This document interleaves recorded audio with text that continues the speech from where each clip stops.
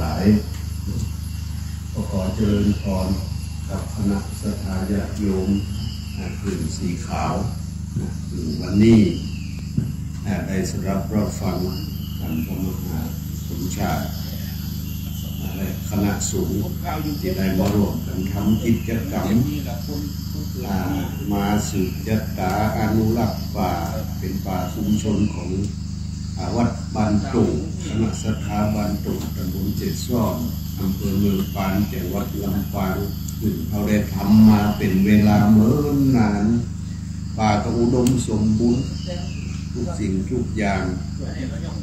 เป็นตีอยู่อาศัยของเราทรัพย์สิ่งอันอาศัยซึ่งกันและกัน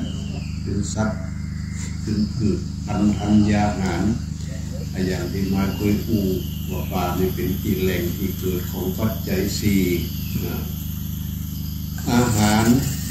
ในป่าชุมชนบรรทุนี่มีสารพัดพักสับปะหลายอย่างหนอนน้ำทางไม้เครื่องกินหัวใจต่างๆเป็นแหล่งที่เกิดของอาหาร อาหารนี่เป็นสิ่งสำคัญจำเป็นสำหรับชีวิตของหมู่เราทั้งหลายส่วนมากจะได้จากป่า ปัจจุบันนี้ก็คนส่วนน้อยที่มามุกลุกก็เป็นของส่วนตัวไปทำไรเรือนร้อยปลูกเขาปลูกปลูกพักปลูกอะไรอย่างทำมาหากิน